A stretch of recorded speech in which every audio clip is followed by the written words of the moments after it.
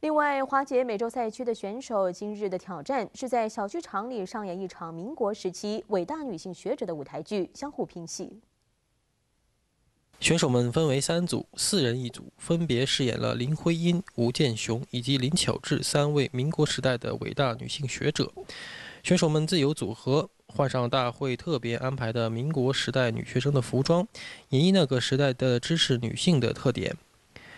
评选标准是从团体合作、文化色彩、表现能力几个方面汇总，最终由一号林慧卿、五号叶静婷、六号赵梦萍以及七号韩宁四位选手组成的第一组胜出。其实我们也是非常惊讶的，因为其他选手呢，他们表现的都。非常非常好，他们呃展现了女性的这个知识，然后也可以得到教育的这个一个剧情。那我们呢，可能就比较婉转，然后有一些表现度啊，也有一些讲座呀，所以可能这方面是我们的得胜的一个原因。嗯。